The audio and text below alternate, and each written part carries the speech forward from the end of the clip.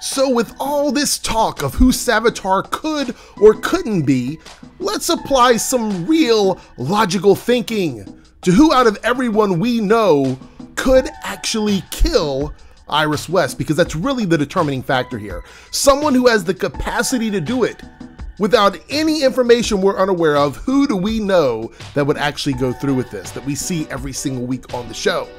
So careful for spoilers if you're not caught up with The Flash this season. You've been warned. Let's get into it. So people have been saying Iris West could be Savitar. Iris West. This makes no sense. In order for Iris West to become Savitar, she would have to be alive, eventually turning into Savitar. Killing herself now would just create a paradox and ultimately cause Savitar to vanish like Eobard did back in season one.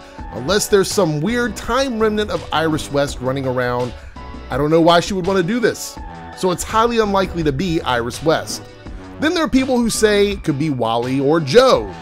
Let's think for a minute here. Why would her father or brother want to kill her to get back at Barry Allen? Think about that, okay? Nothing this season has given us any indication that either of them would have the will or a reason to kill Iris West. The only question mark here, and there's only one, is if Savitar possesses Wally to do it, in which case then it's not Wally, it would be Savitar.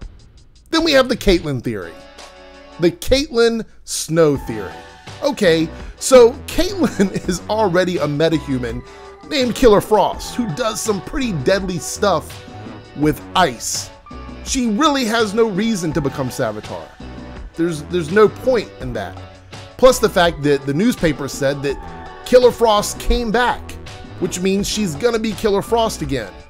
And I can't see her having any reason to reach out to the Speed Force to get Megatron's armor to become Savitar. So Caitlin Snow would never hurt Iris West, and if she did become evil, it would be Killer Frost. And then we have Cisco. Now, here's the thing Cisco, he's been possessed by Savitar. Okay, but he's not a speedster, right? And he really has no reason to hurt Iris West, like most of the people we've talked about so far.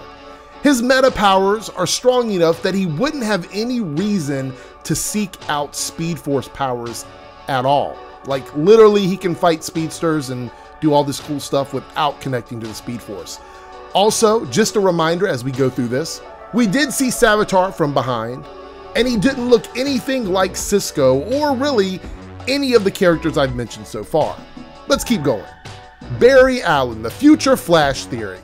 Really, Barry? Why would any version of Barry Allen be motivated to kill Iris West? Right now, with the information provided, we have no reason to believe that our version of Barry from any point in the timeline would kill Iris West. Keep in mind, I'm talking about the characters we see every week here, not some alternate cuckoo world version, okay? Um, not to mention, it seems counterproductive for Barry to become Savitar. Uh, if he created the prison in the Speed Force and the Speed Force had no reason to lie to Barry, why would he lock himself in the Speed Force only to trick Wally into breaking him out of the Speed Force to go and kill Iris West? It's convoluted. Okay, I don't think it's going to be that complicated. I don't see it being Barry Allen. If it is, I will be really surprised. So, with all of those names mentioned, that only leaves a handful of characters we know who could possibly be Savitar based on the characters we see each week or that we've known of in the past. There's the Eddie Thawne theory, but he's dead, right? I mean, this is probably the biggest issue uh, is him being gone. Like he's not a regular every single week, but he does look like the guy shown as Savitar from behind. He does resemble him. Uh, another issue with this is we're talking about Iris West, and I still don't see Eddie killing her to get back at Barry. That seems really nuts unless it's an alternate version of Eddie we haven't met yet. And again, I'm not talking about alternate versions. So if that happens, it's not going to be the Eddie we know. Then we have H.R. Wells. Can't really rule him out. He hasn't been that close with Iris, not like the rest of the team, and he has some sketchy stuff that's been going on with him.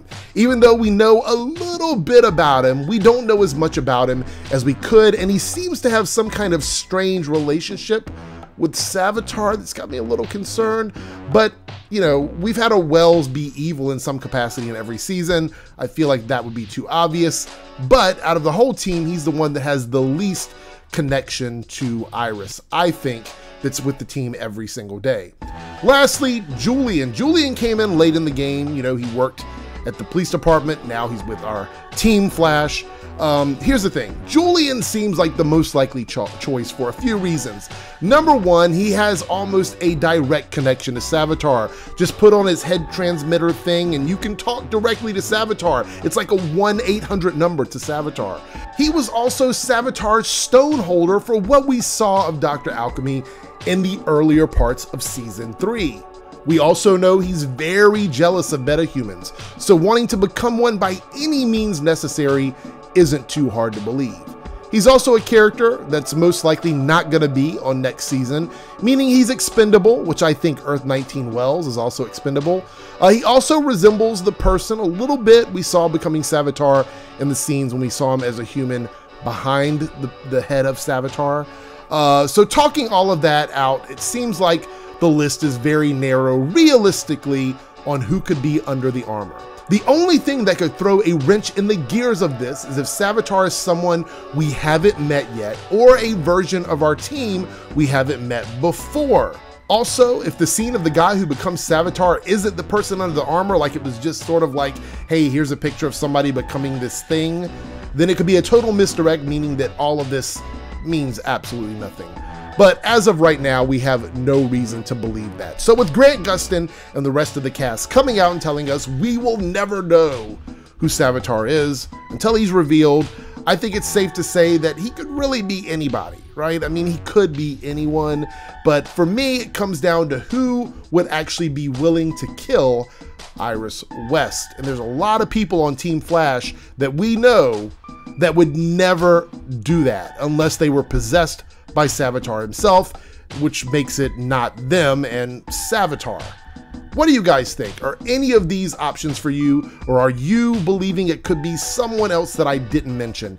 Let me know in the comments below. That's all I got for you guys today. Take care, have a great day, have a great week, and I will catch you later.